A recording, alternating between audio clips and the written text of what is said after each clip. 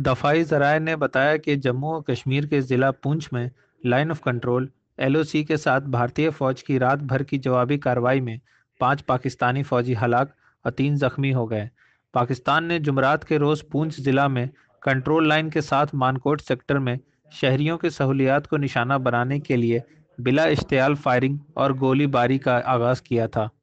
जराए ने बताया कि भारतीय फौज की जानब से जवाबी कार्रवाई हुई, जिसमें पाँच पाकिस्तानी फौजी हलाक और तीन जख्मी हुए। इनके मतद बंकर भी तबाह कर दिए गए। रवा साल के आगाज़ से ही पाकिस्तान ने दोनों ममालिक के दरमियान उन्नीस सौ निन्यानवे में दस्तखत किए गए दो तरफा सीज फायर माहदे की खिलाफ रज़ी की है।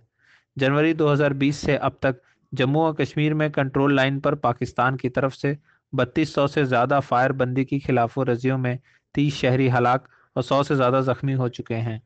जम्मू और कश्मीर में कंट्रोल लाइन के करीब देहातों में बसने वाले हज़ारों अफराद की ज़िंदगी एलओसी पर होने वाली क्रॉस शेलिंग की वजह से खतरे के सबब में है।